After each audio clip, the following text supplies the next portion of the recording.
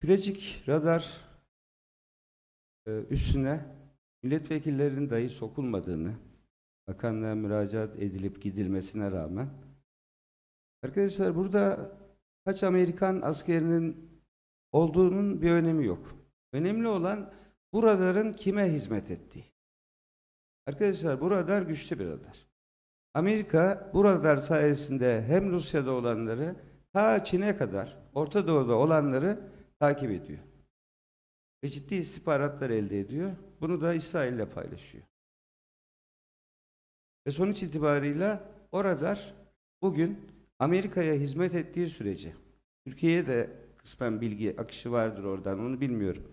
Ama bu radar Amerika kontrolünde olduğu sürece radardaki bilgiler ve bu bilgiler İsrail'le paylaşıldığı sürece maalesef Gazze'de yapılan bombardımanlara zemin hazırlamış oluyor.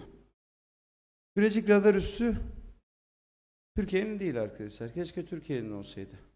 Yani öyle bir radar üssümüz olsaydı keşke. Kurabilecek altyapımız, kapasitemiz olsaydı. Ama maalesef ki değil. Dolayısıyla İncirlik'te bakarsanız kontrolü Türkiye'de olan ama içinde Amerikan uçaklarının, subaylarının cirit attığı bir yer. Ama komutanı Türk bir Türk. Ama İncirliği Amerika aktif olarak kullanıyor mu? E kullanıyor. Yarın İncirlik'ten uçakların kalkıp Gazze'yi bombalamayacağının bir garantisini verebilir mi kimse bana? İncirlik üssü derhal arındırılsın Amerikan askerinden ve tesisatından diyoruz. Üçüncüsü,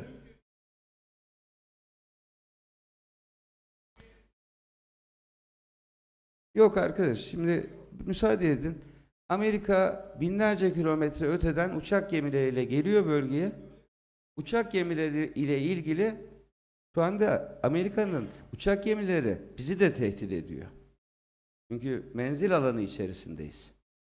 O yüzden dünya beşten büyük diyorsak bence bu çağrıyı yapalım. Hükümetimiz de bununla ilgili gereğini yapsın. Bu konuda en cesur çıkışları Sayın Bahçeli yaptı. Sayın Bahçeli yaptı. Orada Hamas benim umurumda değil. Benim umurumda olan ve sizin de umurunuzda olan oradaki kadınlar, çocuklar ve Hamas'la hiçbir işi olmayan insanlar. Yani bütün Gazze bir Hamas'tan ibaret değil ki, bir örgütten ibaret değil ki. Hamas'ın yaptığı eylem de hoş bir eylem değildi.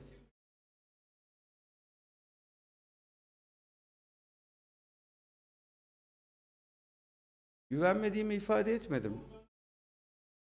Hayır onu demiyorum. Arkadaşlar Arkadaşlar İncirlik'te İncirlik'te Türk askeri de var. Tamam. Türk askeri de var diyorum. Arkadaşlar özetleyeyim o zaman. Ben bunu gerçekten son derece iyi niyette gündeme getirdim. Yani dünyada öyle bir kamuoyu baskısı oluşması gerekiyor ki Amerika Birleşik Devletleri'ne karşı İsrail'e olan desteğini çekmesi lazım. Yoksa çok geç kalınacak. Çok geç kalınacak. Yani büyük bir katliam yaşanıyor. Dünyanın gözünün önünde canlı yayında. Hastaneler bombalanıyor. Ya savaşın da bir ahlakı olur. Hastaneyi nasıl bombalarsın? Okul bombalanmaz. Yani savaş suçları vardır bir de. Ama bunun Taliban'dan bir farkı kalmadı ki bu İsrail askerlerinin. Her türlü eziyeti yapıyorlar.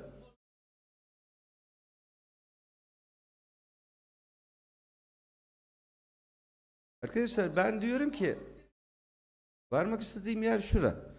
Bu çağrıda bulunması için biz hükümete çağrıda bulunuyoruz. Biz de seçilmiş üyelerden oluşuyoruz. Halkı temsil ediyoruz.